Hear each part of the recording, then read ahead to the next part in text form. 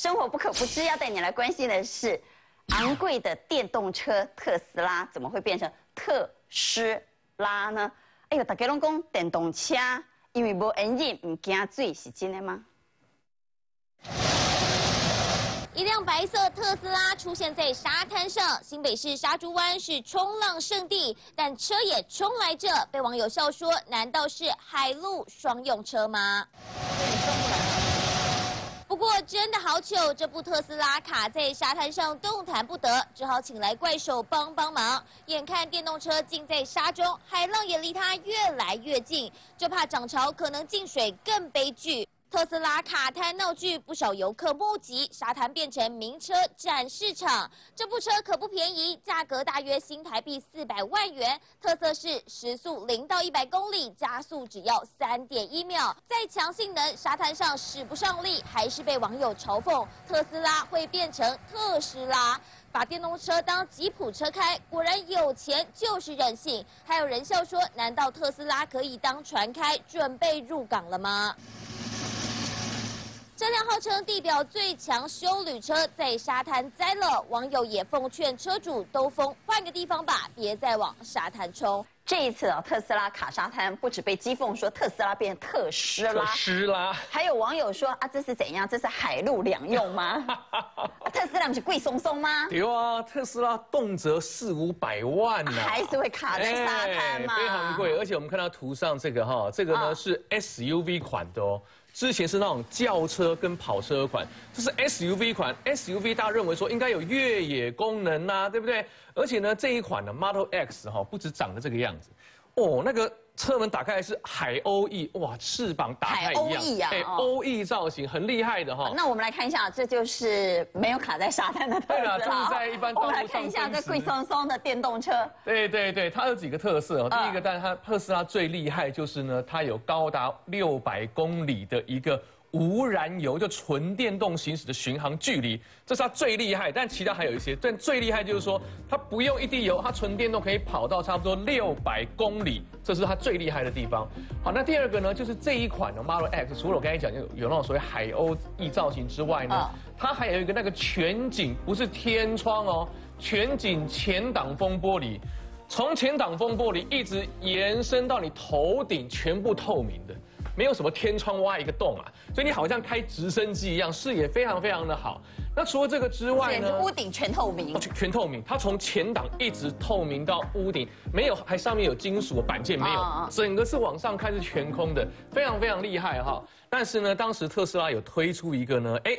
一个影片呢，就是说呢，它这个特斯拉的车子呢，在雪地哦，一般讲雪地就很难走了嘛。是。雪地里面还可以哇，如履薄冰，然后呢还甩尾，还有行进，看起来好很厉害。雪地啊。在雪地哦，在雪地里面。不用加雪链。哎，它不用加雪链，画面是这样啊。那大家想说特斯拉，哎，除了不用油之外，还有什么厉害的地方？这个地方我来跟各位稍微说明一下哈。就是说呢，我今天拿一个遥遥控车来，好，阿关帮我们拿一下哈。好，以前呢，如果说是用燃油的话，我们知道油嘛，我今天特意带一个模型，模型用的这个燃油箱哦，其实意思完全一样。我们今天如果说油的话，油要灌到油箱里面，油是液体嘛，那液体是不是越用会越往下走？哦，越用越低，油一直抽，水位越来越低嘛，对不对？所以呢，你一定要抽油口，然后拔出来给各位看哈。这是模型车，但车真的车也是一样的意思。你看，里面有个重锤，有没有？有个重锤，有没有？哎，就是说今天有个重锤。所以呢，你车在晃动，好不管你飞机也好，车子也好，这个重锤永远在最低的地方去吸取那个液体嘛，不管汽油或者是柴油。也就是说，你今天要用燃油的车。你的油箱一定要有一定的高度，才可能液体由上往下流，让下面吸得到油嘛。如果说你今天把油箱做的很扁的话，那没油不可能往下流，集中不了，也不可能做很低扁啊。好，但是呢，就像刚才阿关你手上掉下来这个是一样的。电池可以做的很低扁。对，电池呢，它基本上我手上这两片哈，这个就是锂电池，就是特斯拉用的锂电池，但造型可能不完全跟这一样。但是因为电池呢。它不管是做的像我这一样这种平板式的也好，或者呢做的像我们一般用的什么三号、二号一样圆筒式，但是你可以并联啊，可以串联啊，可以排列成各种形状。反正它的空间呢就不会像油箱要占那么大的空间，还那么厚啊。所以呢，特斯拉的电池就做成好，我们手上这两片一样哦，扁扁的。对，比例上就跟这一样哦哈。比如说这是真的车哈，嗯它就做成这样扁扁的。然后呢锁在我们翻过来锁在底下，锁在底下。那电池当然很重嘛，所以呢，它创造了呢所有内燃机车都做不到的一个重心压在底盘压得很低。一般的车不可能啊，你油箱再怎么样，你还是比较高嘛，你不可能那么低那么扁的东西压在底盘，而且压那么大一片。当然了，当时有出糗哈，你说这样设计也不是完全好。当时呢，也曾经在美国出现，就是有一台车呢高速公路，哦，前面不知道好像什么什么铁条啊掉下来，它压过去之后，那个铁条刚好戳到这个电池，整台车烧起来。当然也有危险性，但是我们今天是要讨论它的性能嘛，就是因为它电池长这样，所以呢，特斯拉的确在性能部分，尤其操控部分呢，大家给它很多的想象。好，那想象来想象去，那个为什么沙滩会 爬不出来哈？那这个当然我们要，我们不是很确定今天那个新闻那个车款到底是属于二驱或四驱，因为有些买特斯拉的都知道哈，特斯拉车款通常啊，当然有越越有钱就买越好的版本嘛，原则上就是这样子嘛哈。他就是说呢，你今天如果买那个两轮驱动版本的话呢，就在前后轴的某一轴这个地方装上马达，啊，这常在讲我们台湾工艺链在做的嘛，对不对？哈，好厉害的一个电动马达，就驱动前前面两轮或者后面两轮，没有四轮驱动哦。好，就就驱动某两。特斯拉绝对不会有四轮驱动。哎，没有，它就是看你的选配。哎，如果你买两驱的，就只有两驱。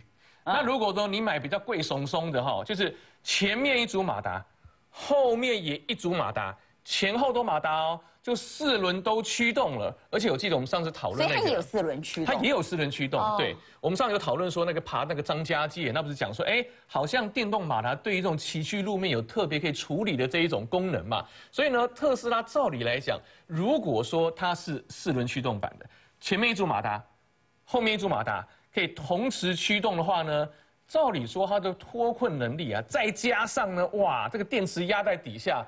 应该是很厉害才对，所以呢，难怪这一个卡在沙滩上这台特斯拉会大家讲说是特斯拉吗？照理说你应该有比起一般的非电动车来讲更好的这个越野能力才对啦。但其实有吗？其实，呃，当然我们这种东西，我们我们要讲，就算说你最厉害的越野车，一定也有极限的地方嘛，哈。只是说呢，我们会认为说，同样的条件下，电动车应该有多一份哈，可以更细腻的调配的扭力的能力才对。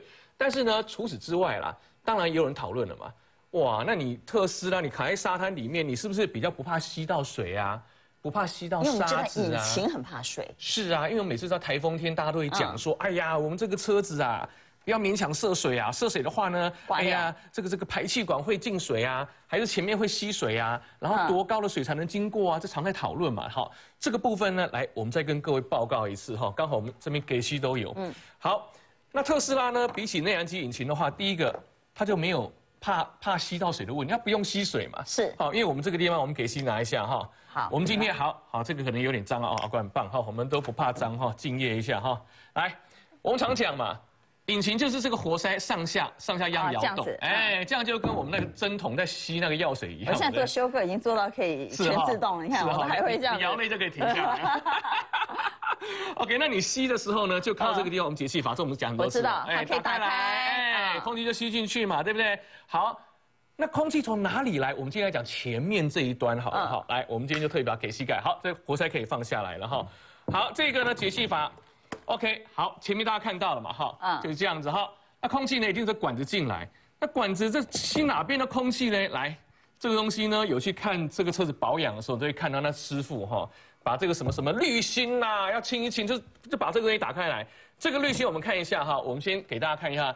这个侧面，好看清楚哦。嗯，这个地方呢，就是阿关手上这一个孔。那这个这要给观众看一下。好，就是里面是长这样。对，就是在对这个地方，也就是说，我们节气阀的吸的空气呢，是从这个地方吐出来的。哦，这样大家了解哈。了解。OK，好，那有出就有进嘛。是。好，那我这个空气哪里来呢？哎，好，那再转过去，我们看这边，它就是从这个地方，好，空气吸进来，因为我们后面在吸气嘛。你后面吸气有出就要有进，就是这个地方进，对，就是这个地方进。好，所以呢，现在如果说车子涉水会吸到水的话，那你想最怕从哪里吸？一定从这里吸进来嘛。那这个孔的位置到底在哪里呢？哇，这是大家这觉得最担心的地方。好，来在哪里？我们刚好这里有水，有这个水箱架哈。来，我们有水箱架，来，没关系，阿冠你还是要拿这个。我要拿这个哈。对对对对对，一般来讲哈，这个呢大概就是在这个水箱架这个位置。我们上次有讲过嘛，引擎盖大概就这样盖起来嘛哈。所以呢，这个吸气口你看，哦，大概呢就在这个引擎盖的这个水箱架这边是头灯，好，两面头灯，大概头灯在下方一点点的位置。这个地方就好像吸尘器的吸气口一样，啊，那吸空气，空气可以压缩，吸到水不能压缩，这个活塞咣一下，引擎就跟你说再见了。所以呢，今天网络上很多讲说，哎呀，这个涉水高度哈，那什么什么看的轮胎的三分之一高度啦，有人说二分之一高度啦，我说都不准，都不要太武断，说是哪里哪里，而是呢，每一个车款你去问清楚，说我这一台车。我的这一个哈，这一个空气滤芯的吸气口到底在什么位置？我都不敢讲说一定在哪，只是通常就在这个大灯的左右侧中间这个位置。但是呢，有些车为了要吸更冷、更更冷、更更冷的空气呢，它可能会更往前往下伸。所以往下伸的话呢，哇，可能呢。三十公分、四十公分就吸到水了，所以这个吸气口才是呢所谓高度的关键。哦，吸气口才是你车子涉水的时候，是是是，到底安全警戒线在哪里的关键啊？那当然了，那你说电动车就完全不怕水吗？这个想就知道不可能嘛，对不对？因为电嘛，电弄到水怎么可能会不完蛋，对不对？而且呢，这一个电动车哈，它的这个电池，我刚才拿的这对这个电池在底盘下面。对，那特斯拉的技术，我刚才讲到说，它可以呢，这个充满电跑六百多公里哈。除了说它有很厉害的这个所谓的电池管理的能力之外，还有就是说呢，因为这种电池你要快充快放的时候一定会发热，啊，那你怎么样有效的让电池能够很快的能够冷却？对，散热，对，你就内行了哈。也是呢，电池是不是能够用的久或用的好的关键。所以呢，电动车其实也是有冷却的吸气口。但是呢，不在车头了。那在哪里？那在哪里？说实在，我也不知道了。对，因为这是很高科技的东西，我们也不知道。只是说我们。所以它怕水的警戒线也是在它的吸气口。呃，它的只是不知道它吸气口对，它不是引擎的吸气口，它那个一定有个冷却电池的部位。冷却的吸气口。对，冷却电池，因为电池在这个底盘底下嘛，哈。嗯。但是呢，它不会像一般的内燃机车，因为绝大多数人还是开内燃机车啦。最主要还是前面这个吸气口，一吸到引擎马上再见。那你今天如果是电动车的话，如果说你真的水分进到你这个冷却的吸气口的话，顶多还是一样再见。对，顶多电池泡到水再见，但是可能不会说整个引擎跟你说再见，这是有差别的。哦，但是电池还是会 say goodbye，还是有问题的，还是要小心了。嗯，好，紧接着财经风向要带你来关心的是，旗舰机市场要先开战火了。为什么呢？因为 S 九在今天问世，而且一开卖三十分钟就抢光了，让苹果觉得好窝准啊。可以看到记者背后的建筑是充满着童话设计的风格。今天记者来到巴塞隆内著名的景点奎尔公园，这些建筑物呢都是出自于建筑师高地之手。而今天呢，我们就要拿三星最新旗舰机 Galaxy S9 来和 iPhone 10和华为 Mate 10 Pro 来做经典实测。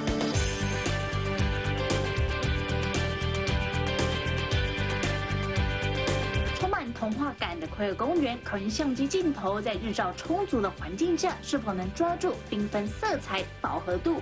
从奖品屋来看，iPhone 10细致度不如 Mate 十和 S9，明亮度则由 Mate 十胜出，但最接近眼珠所看到的景色，则由 S9 拿下。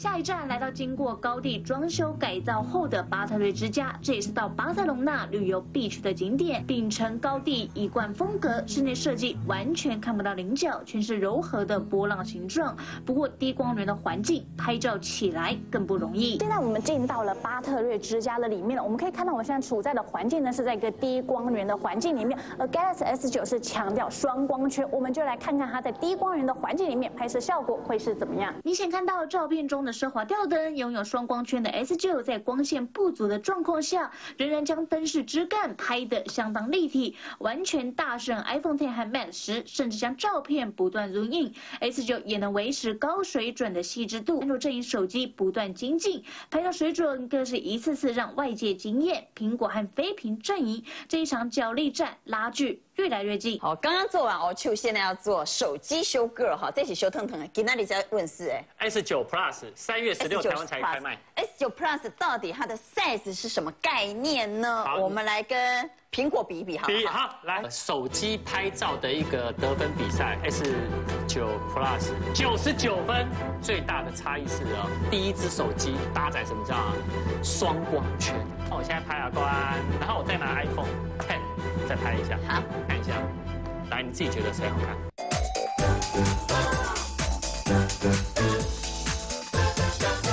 ？S 九 Plus 到底它的 size 是什么概念呢？我们来跟苹果比一比，好不好？好，来，我们跟苹果的 iTen 来比，哈，这是苹果 iTen，好，苹果 iTen 呢，呃，五点八寸，整个屏占比五点八寸，然后呢，S 九 Plus 呢，整个屏占比是六点二寸。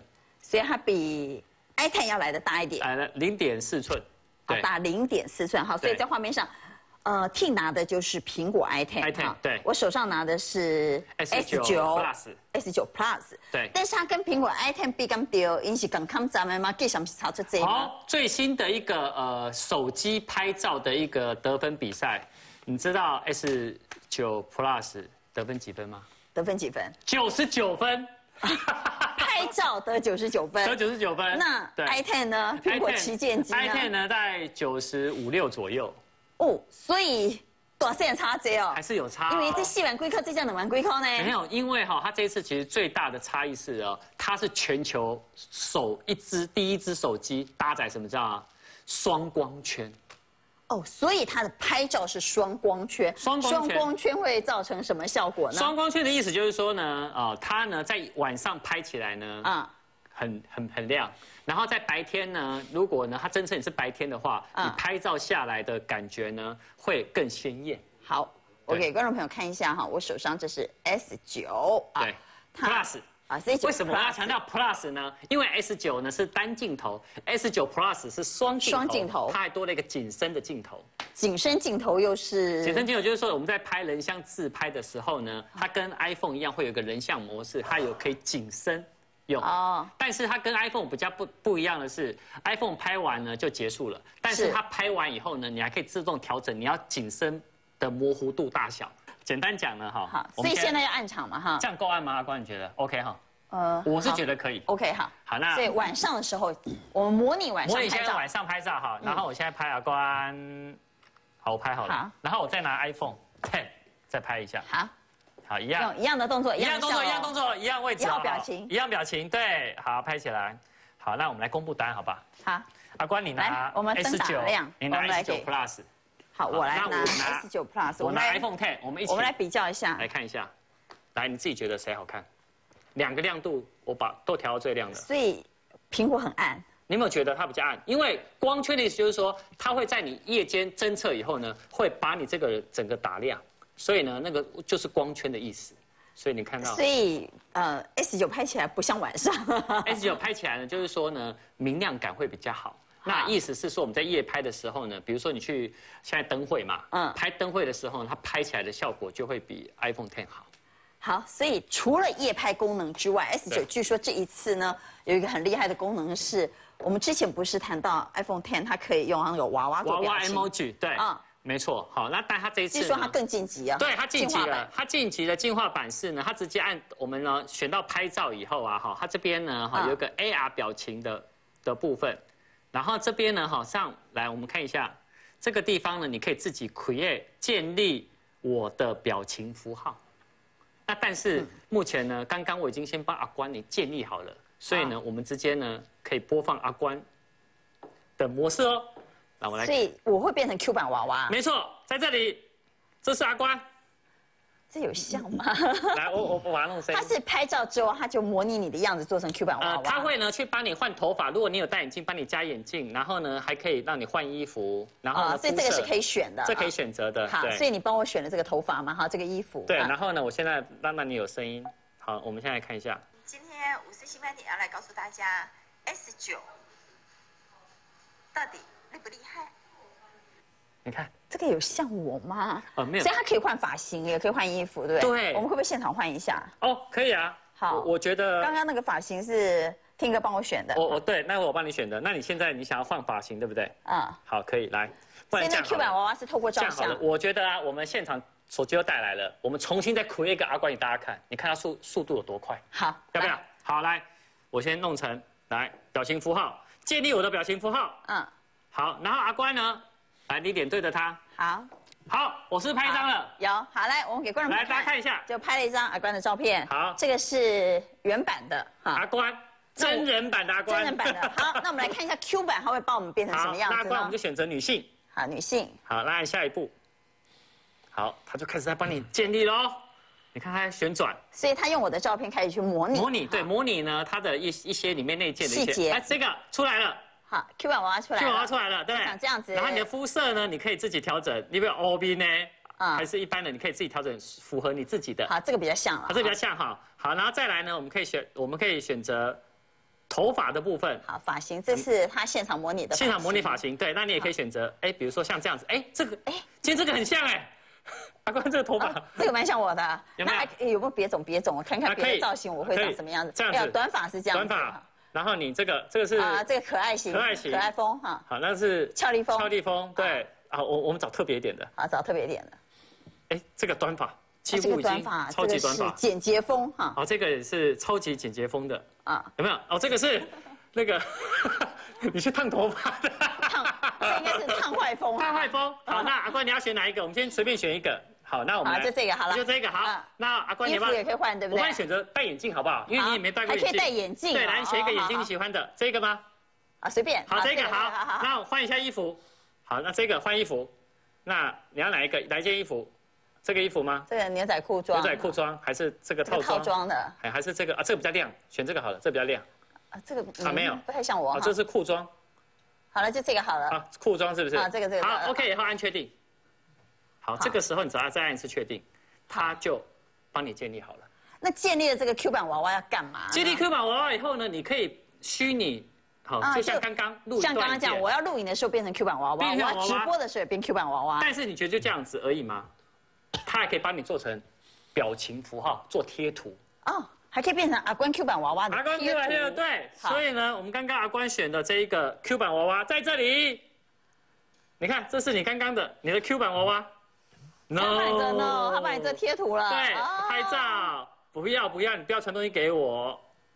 有没有？哦，啾咪，啾咪然，后问号，发生什么，事全部？奈安呢他？都做进来了，蛮好玩的，是蛮好玩的。是蛮好玩的。而且呢，其实我还有一段呢，我们要现场拍，它就是叫慢动作，哦，录影慢动作吗，录影慢动作。哦对，那我其实现在可以有变成，呃，这样子吗？哈丢上去的感觉，对。哦然后它的慢动作是，它跟 iPhone 最不一样的是，它可以去侦测你的物体，而让它变成慢动作。那我们现场录一下啊。哎，其实你可以看到，我现在好啊影片呢，这个就是我录的，哦，这是你自己已经先录好，先录好的一个慢动作。对，你们看啊，抛上去，哦，所以自己可以用慢动作可以做广告了，你看 对不对？是真的，对。啊，有的时候你可能要拜年，还是要你要拍一个很有趣的短片，对你可以利用这个慢动作的功能自己拍了。而且呢，它还可以让你直接做配乐，那音乐都是免费的。iPhone 的慢动作是没有配乐，它就只能慢动作而已。哦，所以它在慢动作的特色表现啊，像这个是 iPhone 的啊，的，这个是 iPhone 的，我们来比较一下 iPhone 的慢动作跟 S 9的慢动作有什么不一样？你看一下 iPhone 慢动作呢，是它整个我手抛上去，它全部都一起都要把它录进去。但是呢，那个 S 9 Plus 的呢，它只有截取那个罐子的慢动作而已。你有没有看到它罐子的这慢动作？还有配乐，哦，差异性在这。这都你拍的、啊，我拍的啊，我刚刚来之前拍的啊，因为 摄影棚呢，为什么？呃，我们在拍，你用苹果拍一次，然后再用 S 九拍一次。没错，这样子大家比较感才会出来。因为呃，很多人会在室内拍，说奇怪，怎么都会有闪动。嗯，不管你是用 Sony 拍，或者是三星拍，或者是 iPhone 拍，因为灯光呢，它的灯啊光线呢其实会闪动的，所以我们在拍慢动作建议呢，都是在户外拍会最棒。旗舰机市场要展开血腥的斗争了，对不对？没错因为除了 S 9推出之外，Sony 马上也要推旗舰机。Sony 的 XZ Two，嗯，我下礼拜就会带来了。但是我们可以看一下影片，它现在影片已经曝光了。对，Sony 的 XZ Two 有多厉害？它这一支呢是首款 4K HDR，画面就是 4K HDR 的那个手机啊啊，而且它的刚刚我们不是做那个慢速摄影吗？是它的画质是 Full HD 的画质，就是超高画质。我们刚刚看到的呃 iPhone 啊，像三星，它是 HD 的画质，但是它是 Full HD 的画质，就是解析度更好。所以有的拼呢。对，就每一个。所以这个下礼拜要推出啊。呃，下礼拜台湾正式记者会，可能在三月底会正式开卖。好，紧接着要带你来关心的是，大陆这是豆腐渣工程，还是风雨的威力太强，竟然机场的屋顶被吹垮了。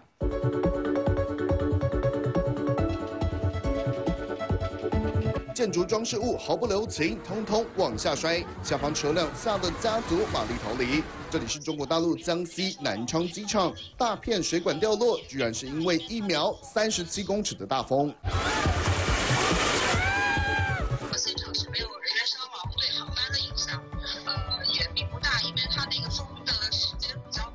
尽管机场人员说无人伤亡，内部旅客还是吓到尖叫。不过最近中国大陆各地都饱受怪风袭击，江西服装学院刚开学，学生的课本就随着狂风消失。福建武夷山除了大风，雷雨也来作怪。大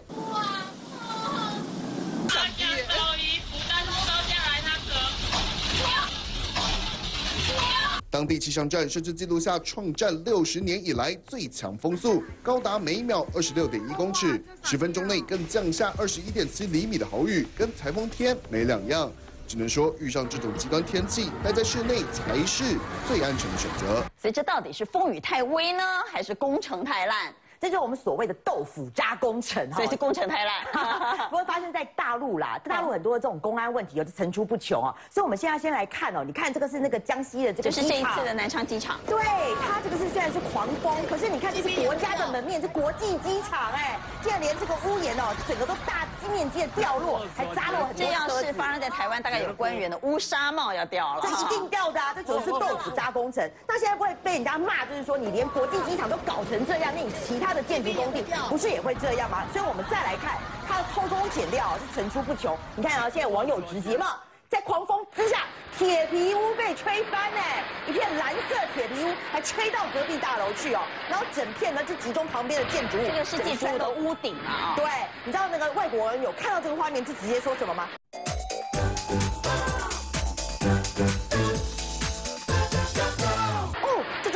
国人的日常嘛，而且是中国的中国人的日常。对中国的这其实不是铁皮屋，这是一般正常的大楼的屋顶哦。对，可是他、哦他那个是呃网友说这是铁皮屋，那他是铁皮盖的啊对哦，铁皮盖的，就施工时啊没有把这个屋顶上的螺丝给锁紧啦。那还有网友很酸，就说你看这就是典型的中国建筑物，真是不知让人该说什么。我跟你讲，不知该说什么的还不止这个，在广我们来看这个广东东莞啊。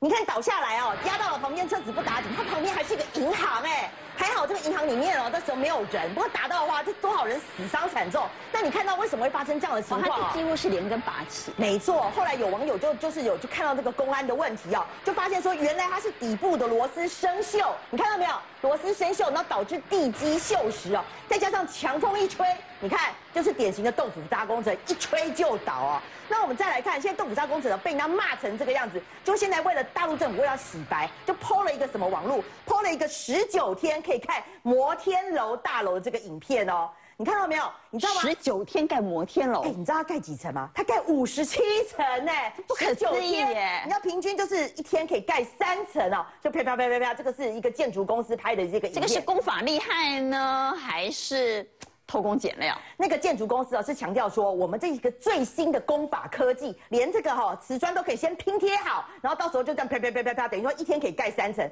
但是你知道吗？这个影片抛出来盖好之后，所有的网友就质疑，就说你这个摩天大楼有必要比快吗？而且你盖好之后，谁敢进去住啊？公安问题，你可能盖了一百九十天，盖了这个十九年，大家还不敢住，十九天的建筑物，尤其是摩天大楼，谁敢盖？所以这就是豆腐谁敢住对，谁敢住？对，他敢盖，我们不敢住啊。那再讲到说豆腐渣工程哦，真的不小心真的也出了喵，这真的是哦发生在贵州省的一个歌唱比赛的彩排，你看哦，大家唱的慷慨激昂，整团都不见了，一秒钟八十个人掉下去，哎哈，舞台整个瘫掉。没错，而且啊，这个是舞台操作出了问题，你知道吗？为什么被人家诟病？是因为这个贵州的剧场啊，它耗资上亿的新台币打造的、哦，然后熊贵啊，就是我们现在画面上看的这个升降舞台，它耗资千万呢，结果耗资千万真的是升降舞台。对，升降舞台，而且你知道它多高？它有五公尺高哎！你看这八十个人跌下去，当场死了五个人呢，而且再盖好一两年就出事情，所以要痛批了。这豆腐渣工程真的是害死人不偿命啊！那我跟你讲，讲到豆腐渣工程哦，最要求的就是它那个材质。那个材质，我们现在来看，这个是发生在海口市的三江镇哦，这是一个国家级的工程呢。你知道他看的是什么？这是水利开关上面一个检查井上的预制板。这预制板哦，你看打开来是什么？它本来应该是混凝土混着钢筋哦，结果打开来是什么？打开来发现竟然不是钢筋，是很细很细的竹签呢。就你知道吗？他是因为有一个工人站上去哦，后来这个板子就啪变两半。他想说，我才轻轻的站，怎么这个就会出问题呀？后来把所有的板子一个一个打开来看，才发现说根本就是偷工减料。所以他用竹签来代替钢筋。对，竹签代替钢筋，而且我告诉你更要求的是，这是国家级的工程哦。他后来发现所有的水管哈都是很细的，就是一下就脆掉，而且后来连电力工程都没有完成，所以整个国家的工程根本就变成一个烂尾楼工程。那你知道吗？讲到烂尾楼工程哦，现在被骂翻了。这个你知道，这个人在练一阳指啊？这个不是，这个是哈墙壁哦，这个工程出了问题。而且你知道这个发生在哪里吗？这发生在北大国立大学的北大的一个宿舍。宿舍哦，这个学生气得要死，就说你这个什么烂豆腐渣工程。我现在练这个一阳指给你看，他把这个指头哦，这根指头可以穿透啊，戳戳戳，对对对，他就告诉你看这个墙壁戳下去的 hooky，戳下去的 hooky。紧接着非常有意思，娱乐焦点带你来关心的是爱丽丝闪离闪婚又闪生。问题是她的昔日搭档曾国成竟然说他通通都不知道两个人有心结吗？小小挺鼻，还有深邃双眼皮，混血小脸相当可爱，但你一定猜不出来他是谁。这个可爱小男婴叫威廉蒂，是旅居法国的艺人爱丽丝才刚在脸书报喜生下的儿子。消息一出，都让粉丝们吓了好大一跳。去年底才宣布认爱英国外交官马培迪，不到一个月就接受男方求婚，感情进展神速。这回又秀出新生儿照片，还写下上个礼拜爸爸妈妈才结婚完，我便等不及跑出来和家人们见面。今年过年，爱丽丝特别带着老公和日本前夫生的女儿李黎一起回台湾见家人，就是为了回国待产。长度十个月，几乎没人知道。坦言是因为怀孕初期常孕吐非常不舒服，后期几乎长时间卧床，所以才等平安生产后才跟粉丝们报喜。爱丽丝那个混血的小 baby 好可爱啊！对啊，因为她的爸爸是一个英国外交官，叫中文名字叫马培迪。可是大家比较惊讶，就是说速度也太快。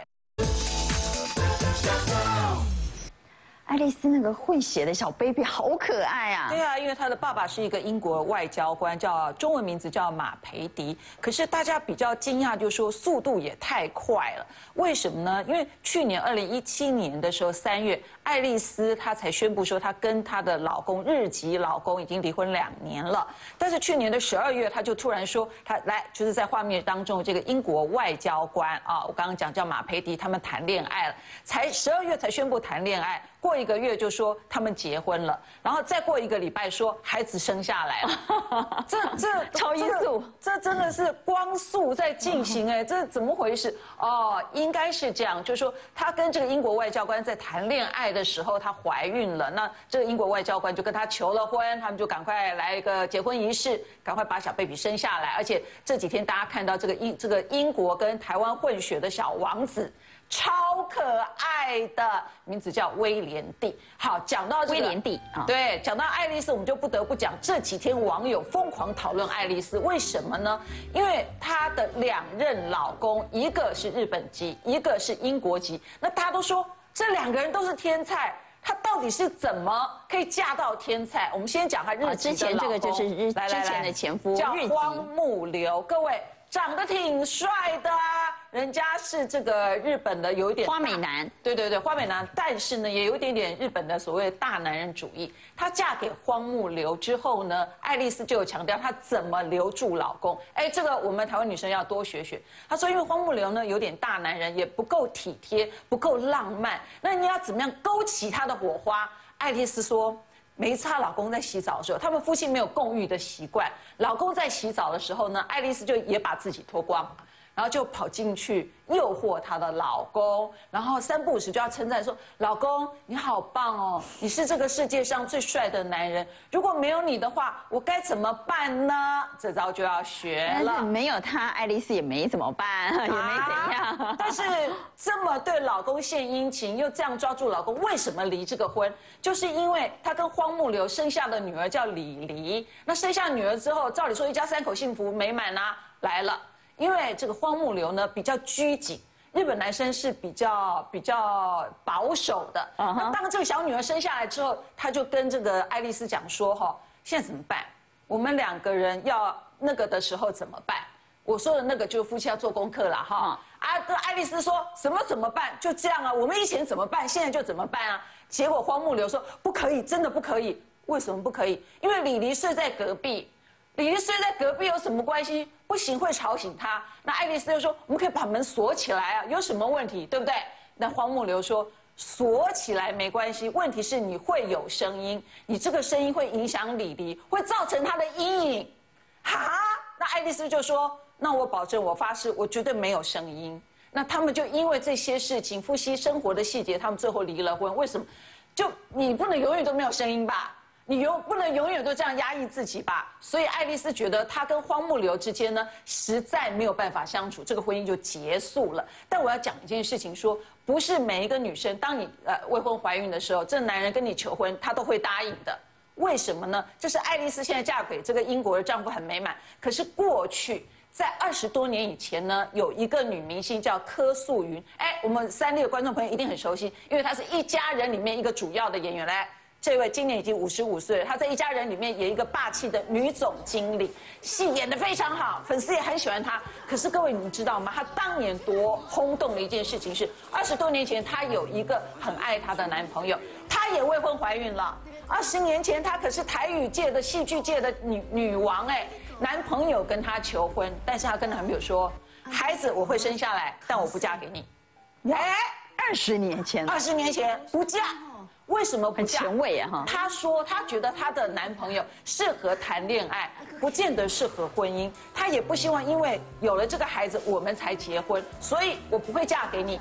啊，那我就自己养这个孩子。她不但自己养孩子哦，她退出演艺圈，当年自己跑到加拿大去，把小孩子抚养成人之后，她才回到台湾，然后接了很多的戏剧。那现在很多人问她说，你会不会后悔？男朋友明明跟你求婚，那你为什么不要？他说我不后悔，我觉得我自己可以照顾这个孩子，我就不会用婚姻来绑住这个男人。所以爱丽丝走到柯素云，每个女人其实对于未婚怀孕或者先怀孕这件事情，其实她处理的方式不一样，但是她就是做自己了。